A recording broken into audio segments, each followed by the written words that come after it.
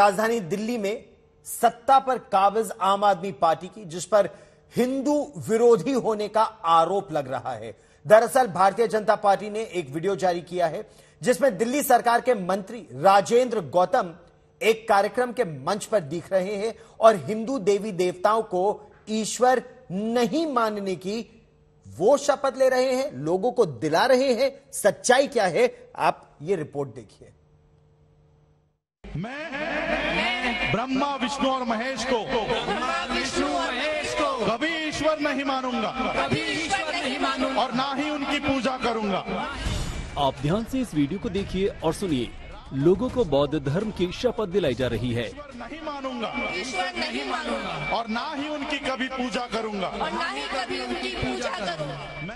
मंच पर दिल्ली सरकार के मंत्री राजेंद्र पाल गौतम भी मौजूद हैं। और दूसरे लोगों के साथ हिंदू देवी देवताओं को ईश्वर नहीं मानने और उनकी पूजा नहीं करने की कसम खा रहे हैं। कृष्ण को राम और कृष्ण को ईश्वर नहीं मानूँगा। ईश्वर नहीं मानूँगा और ना ही उनकी कभी पूजा करूँगा। और ना ही कभी उनकी इस वीडियो को बीजेपी ने जारी किया और आम आदमी पार्टी पर चौतरफा हमला करते हुए हिंदू विरोधी बता दिया।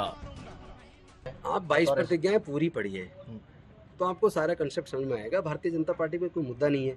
वो हर चीज़ को धार्मिक आयोजन को भी राजनीति में घसीटती है। इसका किसी राजनीतिक पार्टी से किसी राजनीति से किसी धर्म को आस्था पहुँचाने से कोई संबंध नहीं है। बौद्ध धर्म की दीक्षा का आयोजन हज़ारों जगह पर पूरी दुनिया में हर साल होता है। ये सीधा सीधा दंगा कराने की कोशिश है। अरविंद केजरीवाल का ये क्रूर चेहरा है। ऐसा दिखता है। अगर वैसा नहीं है तो आज ही 24 घंटे के अंदर गौतम जो भी मिनिस्टर है उनके जिन्होंने ये धार्मिक नफरत फैलाने की कोशिश की है उनको सस्पेंड करना चाहिए और बाकी अब हम पुलिस केस करने जा रहे हैं कंप्लेन कर रहे हैं जो सजा होगी वो तो भुगतेंगे गौरी गणपति गौरी गणपति। आदि हिंदू धर्म के। वीडियो दिल्ली में हुए एक कार्यक्रम का बताया जा रहा है। उस कार्यक्रम में सैकड़ों लोगों को बौद्ध धर्म की दीक्षा दिलाई गई। केजरीवाल के मंत्री भी उस कार्यक्रम में मौजूद थे। अब बीजेपी ये कह रही है कि केजरीवाल गुजरात में जाकर राम और कृष्ण की कसम खा रहे हैं। तो उनके मंत्री दिल्ली में भगवान की पूजा नहीं करने की कसम खिला रहे हैं।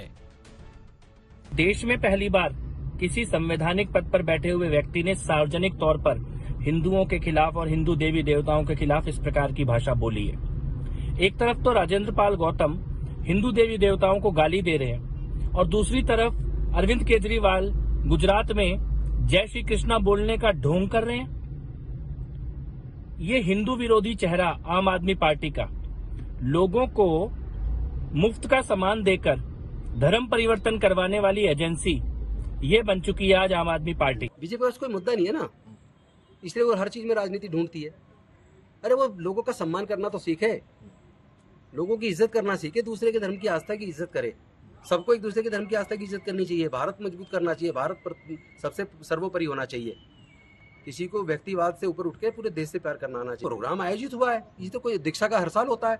उन्नीस से होता आ रहा है, कोई नया थोड़ी ना है। नागपुर के दीक्षा भूमि में तो बीस लाख लोग होते हैं। ये दीक्षा का प्रोग्राम तो हर साल होता है और हज़ारों जगह पर होता है। वीडियो सामने आने के बाद बीजेपी आम आदमी पार्टी पर निशाना साध रही है और नफरत फैलाने का आरोप लगा रही है। वहीं राजेंद्र पाल गौतम वीडियो पर सफ़ाई दे रहे हैं लेकिन सूत्र बता रहे हैं कि अरविंद केजरीवाल अपने मंत्री से नाराज़ हैं। ब्रह्मा विष्णु और महेश को विष्णु महेश को। कभी ईश्वर नहीं मानूँगा।